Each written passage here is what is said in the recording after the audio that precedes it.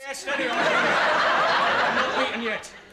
The time has come for diplomacy. Oh no! Look, he's asked me if we've got a telly. I don't know what to. Uh, I think I'm going to have to lie. what a bummer! Right, the time for diplomacy is over.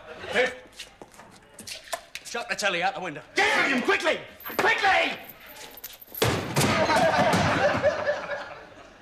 That I did not expect.